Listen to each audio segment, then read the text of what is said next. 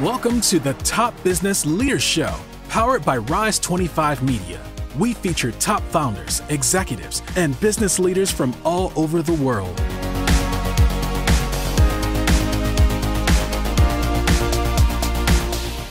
Chad Franzen here, co host for this show where we feature top restaurateurs, investors, and business leaders. This is part of our Spot On series. Spot On has the best in class payment platform for retail, and they have a flagship solution called Spot On Restaurant where they combine marketing, software, and payments all in one.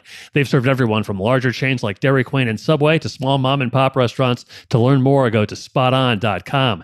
This episode is brought to you by Rise 25. We help B2B businesses to get ROI, clients, referrals, and strategic partners through done for you podcasts. If you have a B2B business and want to build great relationships with clients, referral partners, and thought leaders in your space, there's no better way to do it than through podcasts and content marketing. To learn more, go to rise25media.com or email us at support at rise25media.com. For the past 16 and a half years, Mike Pruitt has been chairman and CEO of Amergent Hospitality Group, whose portfolio includes Little Big Burger, Burgers Grilled Right, American Burger Company, Pizza Rev, and Hooters. He has he has a demonstrated history as a chairman in multiple industries and played on two NAIA World Series baseball teams while earning his business degree at Coastal Carolina. Mike, thank you so much for joining me today. How are you? I'm doing great. I appreciate you and thank you for having me. My pleasure. So, what position did you play at Coastal Carolina? So, I was uh, I was recruited there to play third base. I had a kind of an interesting, you know, I'd say storybook baseball. You know, mm-hmm. I grew up in Maryland, and Cal Ripken and I were actually played on the same summer league team. We were arch rivals in high school. Cal played shortstop and pitched, and I played third base. And so know, I was, you know, did really well in high school and was recruited to Coastal. Previous two year, two years prior to me getting there, they had went to the World Series, didn't make it for the next couple years, and they recruited me there to replace a third baseman that he decided he, he thought he was going to get drafted and not come back. And so I went down there as a third baseman, and unfortunately, he didn't get drafted high enough. He came back, and so the, the coaches convinced me that as you know I was a really good hitter, can really run fast. That if I could play second base, you know, I'd have a chance to get drafted pretty high. So I ended up playing second base my first year in the World Series, and then uh, and then my senior year we got beat by the eventual national champion in the next to last round. My junior year, my senior year, the coach said for the good of the team, but I moved to first base, which gives you an indication that I wasn't a great second baseman. So uh, but I was still a really good hitter. And unfortunately, we went to the World Series again and lost to the eventual national champions at the next to last round that year as well. So, uh, but I am actually leaving. I sit on the board of trustees for Coastal uh, for baseball, their foundation board, their endowment, and uh, I'm actually leaving to go there tomorrow because it's our homecoming weekend, and I've played in our homecoming charity golf event for 17 years with my three roommates that I played ball with. Oh so wow, very I met, nice. met met great friends, and and in fact, it kind of leads to the most interesting story of how I got in the restaurant business because uh, through Coastal, I made a donation back in 2000 to fund a scholarship for a kid that played on the team with me who passed away. And they asked me to join the board. Well, on the board was the founder of Hooters. Uh, you know, the founder of Hooters grew up on a farm about nine miles from coastal where he never had indoor plumbing. Uh, he went to, he went, he was a, grew up on a tobacco farm, went to Clemson on an agricultural scholarship, started naturally fresh salad dressing. And, and then this concept called Hooters started in Clearwater, Florida. And he was selling a ranch and blue cheese salad dressing. And so I went down and said, Man, you're buying a lot of ranch and blue cheese salad dressing. Have you thought about growing this? And they said, Well, we don't have any money to grow beyond this. So he licensed the concept and created a business called Hooters of America. And he grew that concept um, and was incredibly successful, as was naturally for our salad dressing. And um, he gave Coastal in 2002 the money to start a football program. And so they asked him to sit on the board with me. And he and I met. He became a friend, kind of a mentor. And I was running an investment fund with about 40 families. And he came to me in 2006 and said, Hey, I've never had a partner in my life. You know, I like, trust, and admire you. Would you and your families consider making an investment in Hooters because I want to take it public and I don't know how to do it? And then you can represent you and me as an owner and put the deal together to try to take it public. So we made an investment in the Hooters brand in, in 2006. And we spent the next four months with my two analysts and his CFO putting together initial stuff to have intelligent conversations with investment banks over what their thought would be in terms of going public. And uh, and one week, three investment banks after those first meetings, he unfortunately dropped dead of a brain aneurysm. And so so in the documents from that investment, he put in there something ever happened to him. If the family wanted to sell it, he gave me the right of first refusal to buy the company, not his own son who was president of Hooters at the time. And uh, so, needless to say, the son wasn't happy um, and actually tried to sue me to break the right of first refusal. But his his uh, his best friends, who were executors of his will, you know, said that's what your dad wanted, and they made sure that that in fact that right of first refusal stayed in place. And so, I ended up partnering with a private equity firm and took four years to go through the estate courts, but we ended up buying Hooters in 2012, and it turned out to be an amazing investment. And I met two of the best private equity partners possible in the restaurant space. Uh, we brought in the former president of Coca Cola North America to run it. He doubled the profits of the business over the next six or seven years. And in 2019, we sold the controlling stake in the brand to another private equity firm, and we still maintain, you know, a small equity stake. Myself, our clients, and Amergent Hospitality Group in the Hooters brand. But from that experience, you know, we made the decision in 2015 to broaden, you know, into other concepts, uh, non Hooters related, and we picked the better burger category where we bought American Burger and then Burgers Grilled Right in DC, as you mentioned, and then you know what's now our most you know our largest and most profitable brand, Little Big Burger, that was started up in Portland, Oregon, and then recently PizzaRev, as you mentioned. So what? Uh, I'm sure you mentioned it. What were you doing when this Hooters opportunity came up? So I it was brought into two situations. You know, out of college, I was a manufacturer's rep for 3M, which is a glorified commission sales job. And you know, I used to get up every morning going back to baseball and brush my teeth and say to myself, if I could be successful one out of three times today, I'm going to the Hall of Fame.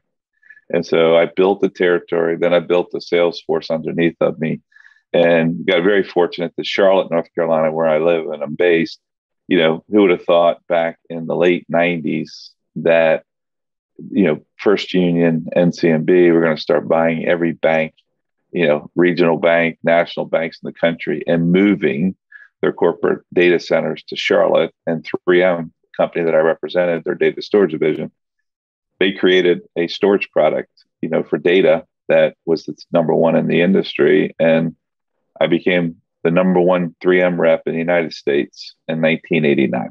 And so they flew me to Palm Springs, California to celebrate. And while I was there, a guy offered to buy it on a cocktail napkin. And I sold the business. I became a subsidiary of his company. And, you know, he could afford to pay me more than I could pay myself because he took all my overhead away from me. And that guy, Mike Carroll's his name, is still a mentor, a friend, and was on my board for a number of years. I have tremendous respect for him. And uh, and so so I kind of got in this niche of you know building sales and sales forces around unique technology. And so I did two different projects for two different investor groups, the last of which we sold to a public company. And that was my first experience with public stock. I'll be honest with you. I was, you know, 40 years old, give or take. I didn't have a brokerage account at 40. So I remember coming home with, to my wife and we had three kids and saying, honey, I got this stock certificate and it's worth $750,000. And her reply was, well, last time I checked, the grocery store would take, doesn't take stock certificates. Mm-hmm. you know, you can't sell it for a year. That was the, you know, that was a condition of the sale. She goes, what are we going to do between now and a year from now? So I ended up, uh, two of those investors in that business said, Hey, we really like what you did for us. You know, why don't you look for other investments, you know, on our behalf? That one was a very wealthy guy. And so I created this business called Avenel Financial Group to look for investment opportunities that those two guys and others could invest in and where I could add value in myself. And then, as luck would have it, and I do say it was a good piece of luck, uh, by the time we could sell the stock a year later, the stock had went up seven times the original amount. Wow. So, yeah, so the guys that had put in like five to seven million dollars in the deal were up 50 to 70 million dollars. So, you know, it was you know pretty easy to get them to want to invest. So I ended up, I'm a diehard Warren Buffett fan. So I ended up doing a partnership model that was Buffett's original partnership model where I charged no management fees. First 6% yearly went to the investor and it was a hurdle rate. And then you know, I got six, you know, 25% above that hurdle rate. And so and I typically did convert preferred deals where we could cover the hurdle rate. So when there was an exit, I truly did get 25% of it. And I put my own money in alongside of them. And Hooters is a perfect example of that. It's 17 investors. We put $5 million into Hooters in the form of a convertible note. And, uh, and that was kind of what I did for 10 or 11 years. And, you know, the rest is kind of history. Sure. You said you were, so you were in your 40s by the time you uh, acquired Hooters up until that time, did you ever envision yourself kind of having restaurants as big a part of your life as they are now? Absolutely not. You know, I always joke, I'm 61 now. So I always joke that if somebody would have told me at any age, forget about the fact 40, 50, or 60, that I'd get up most days with some reason to think about the Hooters restaurant chain, I would have told them, you know, they were absolutely nuts. But and it really was never our intention. You know, our intention was to go public, get stock, sell it, make a return, not be a part of, you know, what's become a what nine year journey, you know, of it, you know. But when he died, you know, him giving me that right of first refusal, I felt responsible for the legacy that he had created. I mean, when you think about South Carolina and you know he's got to go down as one of the top entrepreneurs of all time. I mean, given the fact where he came from, um, the fact that we gave their family over two hundred million dollars for the Hooters brand, naturally fresh. You know, got a ton of money as well. He had real estate holdings. He had, I mean, but you would have never known he had two nickels the guy. He drove a 12 year old car, wore tacky kind of clothes. You know, he was a great guy. And I remember asking his two best friends when he died, who I used to have lunch with all the time, you know, why was he so good to me? And he said, because you never asked him for something. I mean, his whole life, people were always asking him for something. And instead, you actually gave him money and helped him. So it, it was a relationship that I cherished. I really enjoyed it. And, you know, it was shocking when he passed away the way he did. And uh, I still have maintained a friendship with his widow and his daughter, uh, who is now in college. But um, you know, so I, I feel you know kinship. And the original founders of Hooters in Clearwater, uh, the president of that group, has become one of my best friends. So uh, so it's it's you know it's still something that you know I think about the brand you know each day, probably at some point in the day. If we were doing this in our conference room, you'd see a, n- a number of pieces of memorabilia associated with you know our Hooters in business. When did you decide? So during your kind of uh, tenure as owner of Hooters, when did you decide? Okay, this industry is something that I think is you know a worthwhile investment, and you and what made you decide to start to acquire other types of um, restaurants?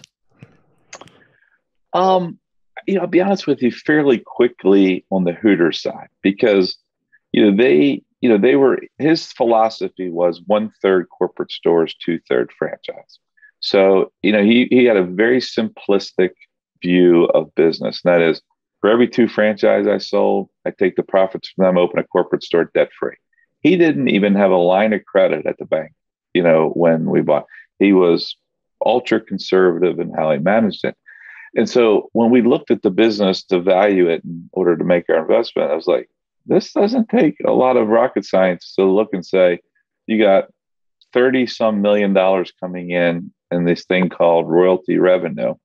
And you got about two or three million dollars of overhead that you're spending to operate that part of the business.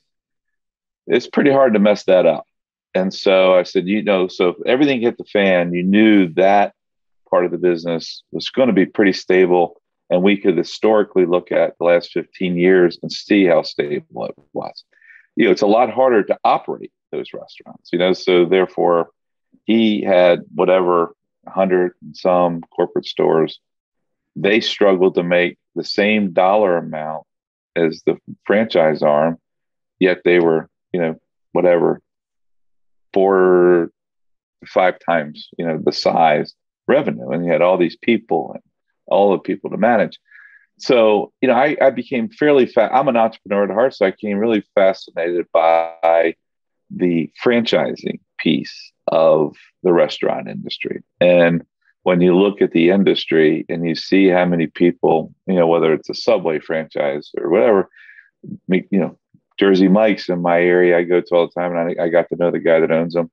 I mean, those those owners pour their heart and soul and everything into making it work. And I'll be honest with you, I always found interesting is so many times over the last 20 years, you find guys that made a bunch of money, did really well in the restaurant business. They sold out. As soon as their non compete was up, they got right back in it because they knew the playbook, they knew the formula. And the guys that you know knew the formula, they could they were really good at it and they knew how to make money at it. And that's to me has always been fascinating to watch. Sure. So you so you must have somehow learned the formula or had people around you that knew the formula because you hadn't had a, a, background in the restaurant restaurant industry. What was that? Was there a learning curve for you, even though you had been very successful uh, prior to you know getting into Hooters? Well, I think it's a couple things. Going back to being a Buffett guy, you know, everything we invested in, we try to have a moat, right? That protect the downside. So, you know, we did our best up front to analyze all the risks to have a moat. And part of that was it could be the concept, it could be the marketplace, but most likely it was the people, you know, in the restaurant industry. So yeah, I I have no claim to be a great restaurant operator. Even today, 20 years later, I do think I'm pretty good now at identifying good restaurant operators and good concepts. But myself, I don't know that I'd be the guy to develop the concept. I don't. I certainly wouldn't be the guy to operate it. But I have great empathy and excitement, and for the team that we have, and the team we've made a number of acquisitions, and the teams that we've been, you know picked up through acquisition. And when they're good at it, they love it. And you know, our president Fred Klick, I think he skips to work. I mean, he loves running our restaurant businesses and he loves running the you know dealing with the people it takes to run those businesses and the customers and creating the loyalty programs. And so you know and I, the same thing was with terry marks who was the president of hooters under our reign. You know he built a team that was unbelievable and it was a true joy to watch them work and see the joy in their accomplishments as i said they doubled profits over a seven year period, you know, that's pretty darn good. And uh, so, you know, now look, I've also learned from mistakes because, you know, I've often said when I look back at my life, you know, I've made money, you know, I certainly have overachieved and out, outkicked, you know, my coverage in terms of what, you know, my wife thought probably when she married me and my professors thought, you know, when I was at Coastal, some of which have confirmed that to me. but you know, I say I've made more money in my life. I've lost more money than I ever thought I'd make in my life too. So I've made plenty of mistakes. But when I look back at those mistakes, you know, which I don't try to dwell on, um, but when I look at the successes, it was usually where, you know, I invested with or in great people you know, Hooters being one of them, you know, and you know, finding a truly a management team or a leadership team where their interests are purely aligned with the investors. And and I've always said I'm not looking to make money off people. I'm looking to make money with people. So sharing that, incentivizing them, and you know, being in a position where you know we all make do well when everybody does well. You know, and typically where I've messed up is you know there's been times where you know things were going so well that maybe I took I definitely took risk that I didn't really think through. And and a lot of times when that occurs, those risks come to fruition and you lose money. Uh, and then there's luck, right? I always tell people, you know, you don't ever want to think it's blind luck, but you know, there's a lot of luck in being in the game when the game's going the right way. And you know, if you can grind it out and hang in there, there's going to be times where, you know, the it, you know, when the ball is, you know, going the right way, the game's going the right way, you can uh, truly benefit by being in the game. What's an example, uh, if, if you don't mind talking about it? What's an example of maybe a risk that you took that didn't work out well for you, but maybe you learned learned something from? Well, I, there's a couple different things. I think you know, I look back. The two biggest losses I took personally, and from an investing, you know, one I'm not sure I can truly blame the guy because I invested in a technology platform around the home building industry. And the first three years did amazing. And then 2008 and 2009 came and the world crashed, right? From a financial service, the mortgage backed securities, everything crashed. And so home builders froze. They stopped building, they stopped growing, you know, they're, they, so, you know, that business went from a good business to a bad business it, it, overnight. And there's certainly no blame I could put on the management team. They tried to hold it in there. They probably, if only thing, they probably had leverage when they wish they didn't have leverage, which also hurt them. Their banks called their credit facilities because of every bank was calling their everybody's credit facility. And so I took a pretty big hit, including one of which was my best friend. Um, growing up who became a franchise partner and was growing my old hometown area where I grew up in Maryland, and it it, it bankrupted him. And so you know, so I lost doubly. I lost on the parent company, and I lost banking on him. You know, the other is I followed the guy who made, you know, and I've learned this unfortunate lesson twice. Uh, Sometimes it's really good to partner with hugely successful people. Other times it's not because if they if it turns out to be a bad deal, it's a it's a rounding error for them. Whereas for you, it could be a really devastating error. And so there's been a couple of cases where I've invested in a very wealthy with alongside of a very wealthy guy in a particular industry and he just wrote it off. And unfortunately it didn't hurt him but it really hurt me. And uh but that's you know the, the first guy is the guy who gave me the opportunity where he made 70 million dollars and that public company when it went you know we got to sell our stock. And like i say i, I did really well too. So i almost felt obligated when he asked me to invest alongside him in something. But you know, I lost a million dollars. You know, he oh. lost a million, he lost more than a million dollars, but it didn't, you know, he, it was like, didn't bother him.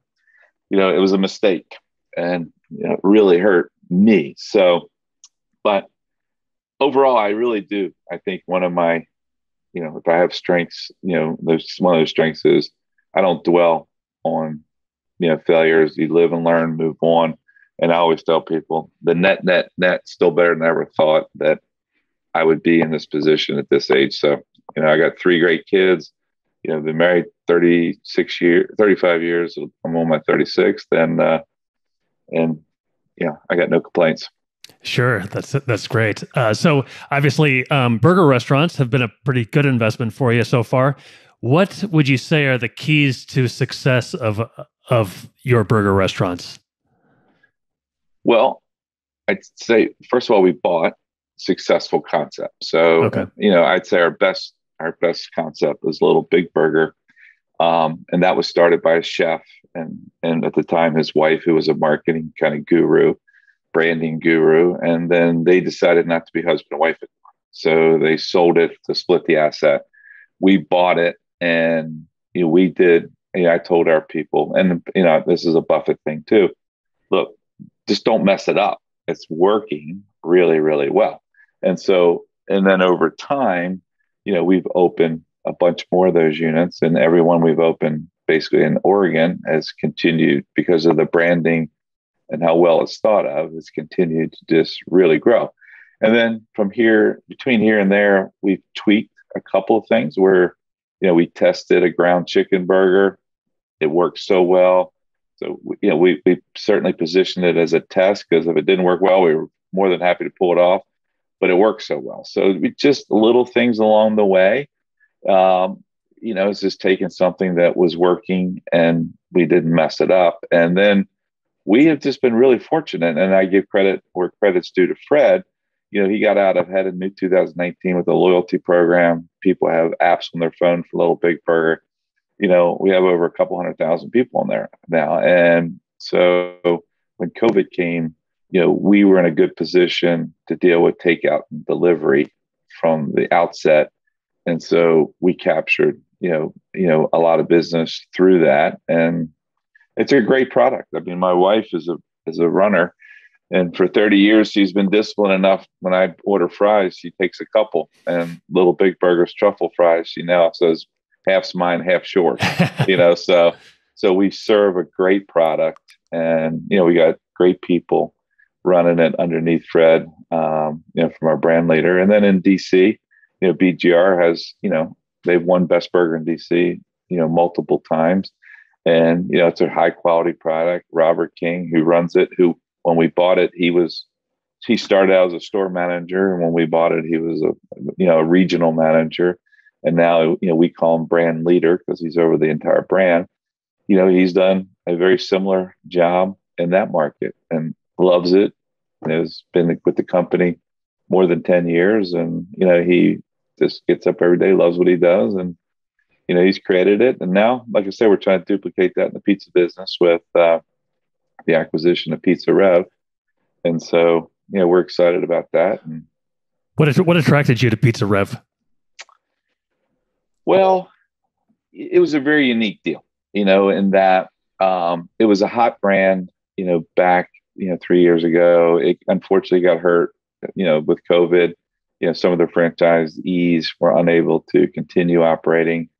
And so the PE firm that was VC PE firm that was behind it, um, they had gotten some money from the government to salvage it, you know, and they made a decision that there was probably someone like us better suited to turn the business around. And so, know, we we were able to come to a fairly quick deal where, you know, we took it over. Uh, they have some incentives from us as relates to future if it does better under our regime than theirs. With uh, they have you know some, have a note that we owe them, and they can convert it into stock in the future if they want. But we picked up a great guy and Matt Avila, who run you know is kind of that brand leader, and you know we all really come to appreciate Matt, like him, and we look forward to building you know other pizza concepts around Matt and his brand leadership and underneath you know Fred as well. So so look, we're early into the, you know, we're in the first innings. You know, we bought it, you know, September 1st, I believe we closed. And so, you know, we've got two months under our belt. And, you know, we look forward to, you know, we got about three stores that are opening between now and the end of the year. And so it's going to be interesting times ahead. And we're excited about it. We look, we pizzas, uh, look, burgers and pizza are, I think, the top two categories of people eating outside of the home. So, you know, you know, having a presence in those two, you know, verticals is a good thing. And uh, so, sure. So, uh, a few more questions for you. We're about to wrap it up. Uh, okay. You said you played on the same summer league team at summer league team as Cal Ripken, and you played third. So he played short. Yeah, he did. He played short, and by the way, he was a hell of a pitcher.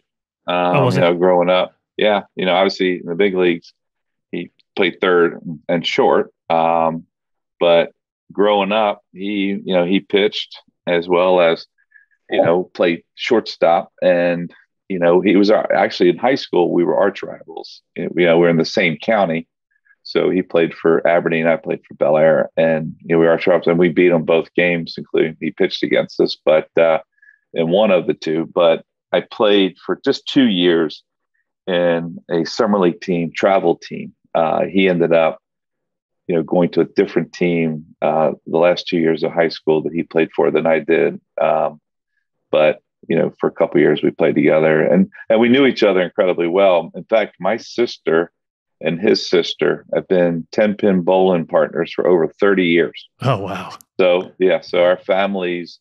You know, when Mr. Ripken died, uh, my mom was invited back to the house, the whole nine yards, because uh, Ellie's mom you know, Cal's mom and my mom, you know, go watch the girls bowl on Monday nights. And so, you know, they, uh, the families stayed, you know, very close friends and they're still close friends. Could you tell, uh, I mean, if, could you tell, and basically the whole area could probably tell that this guy was, you know, pretty special? Yeah, you know, Cal was, I tell you, Cal was a, was a really good athlete. You know, I played a lot of pickup basketball games with him. You know, he could dunk the basketball forward and backwards. So, so the answer is, you know, absolutely, because he was, you know, he was bigger. You know, he's six four, I think. He was bigger, more developed than most. And it's funny because his dad was little, tough as nails, uh, kind of guy, but wasn't a very big guy. Cal was, you know, like I say, six four, and and he was and, and he was a great guy. I mean, he was a great teammate, a great guy. Um, like I say, I hung around a lot with them playing basketball in high school. And uh, I went down to my buddy who I played ball with was clubhouse manager for the Orioles. So even after that, I went down a few times to the clubhouse and, and, and met Cal, hung out with him. And in fact, Coastal, when Cal built Ripken Complex down at Myrtle Beach near Coastal and had some extra AstroTurf left over, and the baseball coach Coastal asked if I call and see if there was any way he'd donate it. And so I did call, and he didn't hesitate. He donated it to the school, and uh, so you know he's he's a he's a really good good person. As is Billy, his brother. He has another brother, Freddie, that I didn't know very well. Um, but Ellie, his sister, you know, obviously uh, we think the world of her. So you know, sure. so we good family. Very nice. Very nice. Hey, I really appreciate your time today, Mike. Uh, how can people find out more about everything you've got going on? So, obviously, they can go to amergenthg.com, but HG stands for Hospitality Group. So, amergenthg.com. And, you know, on there, my email address, everything is under my bio, and I'm happy, you know, to answer. E- I answer every email, return every phone call, and, uh, if you're out there and you have a concept in the fast casual sector that you potentially would have an interest in selling, you know, obviously we're constantly looking at new opportunities. And as we said in press releases, we have a number of LOIs out that we're hoping to acquire some other concepts as well. And so, you know, please call and uh, we look forward to it. Okay. Hey, I appreciate your time today, Mike. Thanks so much. And uh, best of luck with everything in the future. Thank you, buddy. Appreciate you. Thank you. Thank you. So long, everybody. Bye. Thanks for listening to the Top Business Leaders Show, powered by Rise 25. Visit rise25.com to check out more episodes of the show and to learn more about how you can start your own podcast.